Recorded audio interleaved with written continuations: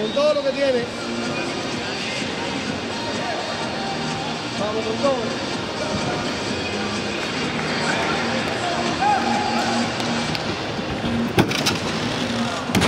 Vamos. Ya. Todavía, todavía está.